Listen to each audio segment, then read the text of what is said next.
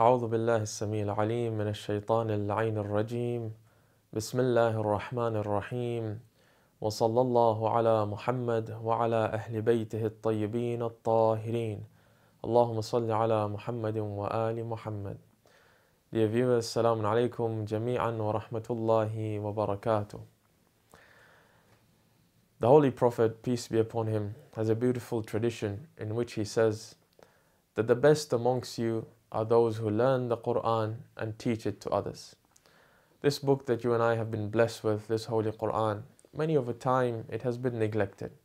It's left alone, we keep it aside, and we use it when we want something from it. When we want to seek guidance from Allah in an istikhara, when we want to be blessed, when we want to send a gift to our marhumin, we tend to recite the Quran. It tends to be quite a selfish relationship with the Holy Quran. When we want something, we use it. But the Quran is meant to be there for our guidance. It's a conversation with Allah subhanahu wa ta'ala.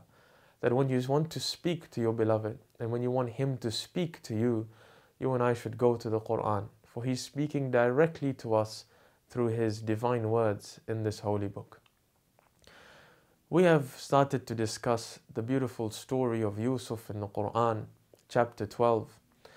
We began by looking at certain parts of the surah at the beginning where Allah subhanahu wa ta'ala talks about its revelation and talks about its narration. Continuing this beautiful story, we understand that it looks at multiple vices that the brothers of Yusuf have. It makes it clear for us that a human can reach such low levels where it's possible that they're even willing to attack their own sibling. Continuing where we left off from, Allah subhanahu wa ta'ala speaks about the dream of Yusuf in verse number 4, where Yusuf goes to his father and he mentions to his father that I've seen 11 stars, the sun and the moon bowing down to me. Normally, when you and I receive good news, or we see something great, or understand something new, we have an innate nature within ourselves to want to go and share this. And it's only correct that we should go and share that which we have been given the opportunity to learn. Of course, the Holy Prophet and his family give us certain requirements which we should meet before sharing. That we should know that the person that we're sharing with is worthy of this knowledge or this information. We should know that we're not trying to confuse people by what we're sharing with them, and we should speak according to the intellects of the audience that we have. Sometimes it's disturbing if an individual ascends a pulpit or begins to speak to a crowd and confuses the crowd or leaves them with questions which are unanswered. This can have an adverse effect. Instead of guiding people and taking them closer to Allah, it can make them doubt Allah, it can make them doubt their religion. So, whenever we speak to a people, one of the requirements that we need to meet is that we're speaking according to the intellectual level of those individuals and we do not leave them worse off than when we found them. We bring them closer to Allah subhanahu wa ta'ala. For this reason, Yaqub alayhi salam, being a prophet, mentions to Yusuf, don't mention this dream of yours to your brothers. Because as a prophet, he was aware that this dream meant that God has chosen Yusuf and will make him a prophet, or has made him a prophet. And this 11 stars and the sun and the moon bowing down will unfold later on in his life. These two vices that stand out in this verse, which are clear to you and I, are the vices of pride and jealousy. They tend to come together, and as soon as they come within man, it's very difficult to eradicate them from oneself. It eats one's faith, as Amir al Mu'mineen says, that jealousy consumes one's faith like fire consumes wood. If somebody is jealous, it actually affects them continuously. They can't sleep, they can't eat, they can't walk, they can't relax, they can't think properly because they're continuously occupied by another individual, the gifts and the blessings that another individual has. Can you imagine being in such a lowly state that we spend our years worrying about what has been given to others, where we spend our time agitated at the blessings that others receive instead of thanking Allah subhanahu wa ta'ala for what He has given us. As the Quran says, that above everyone with knowledge, there is another one greater with knowledge. There will always be somebody above you, but you should always remember that there will always be someone below you as well. If you and I want to keep looking up and say why God hasn't given us this and that, before we do that, we should look beneath. If we have a house, we should look at those who don't have a shelter over their heads. If we have clothes, we should look at those who don't have clothes. If we have shoes that are tied for us, look at those who run around barefooted. I remember when the refugee crisis took place and many of the refugees moved to Calais and they were trying to, from Calais, come to England and other parts of the world. A group of us had uh, been given the opportunity to go to Calais to try and do a little bit. You know, sometimes when we do good actions, we think within ourselves that we've done something great. But it's only when you realize what other people have done that you see your actions as absolutely insignificant. And this is what the Ahlul Bayt used to do. Imam Zain al-Abidin salam, when he used to worship, lengthy worships during the night, many a times it is said that he would compare his worship with the worship of his grandfather Amirul Mu'mineen. Once the fifth holy Imam came into his room, seeing that his father had stayed awake the whole night, the color of his skin and complexion had changed. His eyes had become dried because he had been weeping so much and stayed awake throughout the night. He came to his father and began to weep when he saw his father in this state.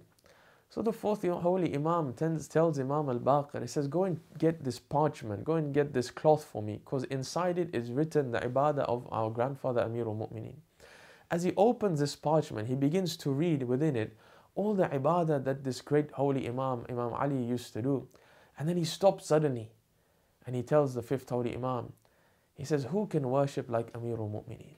He looks above he looks above and he doesn't become jealous. He looks above and takes inspiration that I too want to become like that. Oh Allah, give me the ability to become like that. When we look at somebody who's been given more than us, we shouldn't tell Allah, take it away from him and give it to me. This is inhumane. Instead, we should tell Allah, give him more and also give me as well. When we went to Calais, we saw these individuals who were very much unlike us.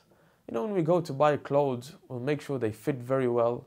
Sometimes, if they're branded, we'll make sure the brand name is showing, it's clear. And even if there's two pieces of cloth that we're willing to buy, two shirts, but one has the brand logo outside and one simply has it on the label, if it's the same price, we may tend to purchase the one that has it externally, simply to make it known to people as well.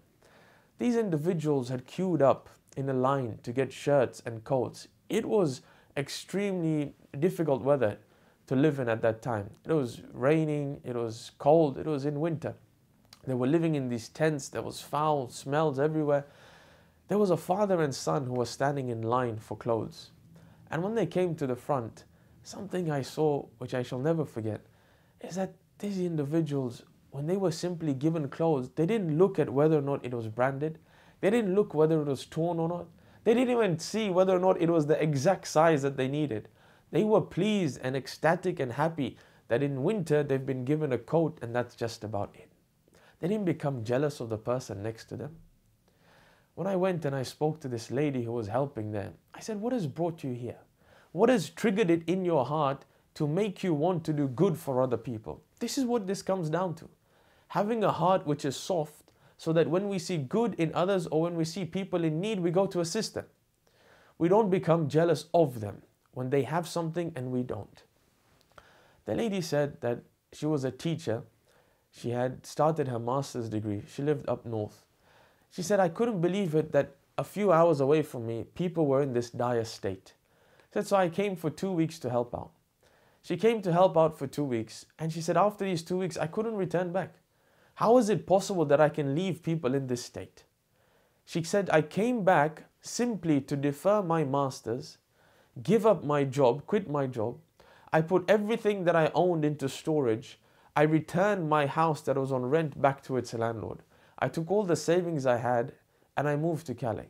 Since then, I've been living here. I've run out of my savings, and we live of what people give to us as donations, and we eat the same food that we cook for these refugees. This was a non Muslim. Muslim or non Muslim, one can still have a soft heart. You and I, as Shia of the Ahlul Bayt salam, have no excuse because we have the fastest path. We have the soundest path. We have the straight path, the best of guides. It should not be possible that within us as brothers, as sis- with sisters, we should not have within us this jealousy, this pride that I want to be better than another, that I want to bring somebody else down. If somebody is doing good in the community, encourage them, assist them. It's not about me reaching the finish line. It's about somebody from amongst us reaching the finish line. So that I, on the day of judgment, can have a say in front of Allah and say that I tried and I did something great. I took part in this individual becoming someone great. When we went to meet Sayyid Sistani recently in Arba'in, this is one of the pieces of advice he gave. Said, when you see somebody else's child uh, excel in their studies, that they became a doctor, don't turn around and say, why didn't my child become a doctor? Don't start looking down at your own children. Don't start having uh, jealousy within you and, and say that why not my child? Don't have pride and say my child but not his child. Rather be thankful that someone from amongst you was able to reach such a high station. It's the same with the reappearance of the 12th Holy Imam, Ajjalallahu ta'ala farajah sharif. May Allah hasten his reappearance soon and make us amongst those who are able to understand him and realize him when he reappears. When the Imam reappears, whether we're alive or not is secondary. What's of primary concern is that somebody from amongst us is amongst his chosen servants. That we did something in our generations with our children to make someone from our children an Ansar and a help of the 12th Holy Imam. These vices of pride and jealousy that were harbored within the brothers of Yusuf had taken them to such a low level that they were now willing to even kill their own blood brother. As is mentioned in the Quran, this was the first idea that came to their minds that let's kill Yusuf. Yusuf was seven up to nine, either seven, eight, or nine years old, according to the traditions that we have. Can you imagine such a young child, such an innocent child? Because of the love that the father showed them, they were willing to kill them. That was an idea that came to their heads. How is this humanly possible? How can a brother want to kill a brother? How can a human want to kill another human? It's possible when these vices overtake us and we become imprisoned by our desires, where we can't think straight any, anymore. When these vices govern us, we can't think straight. We become animalistic, or like the Quran says, even worse off than animals. As we continue, we will understand and realize that this young child, Yusuf, was taken to a well. And we look at the eloquence that Allah uses in the Holy Quran to leave us at a cliffhanger, to allow our imagination to run with the story that is about to unfold. How this young innocent child was thrown into a well, but how this was all part of the plan of Allah subhanahu wa ta'ala to bring this innocent child and pure heart of Yusuf from the pits of a well to the highest points in the kingdom of a king in Egypt.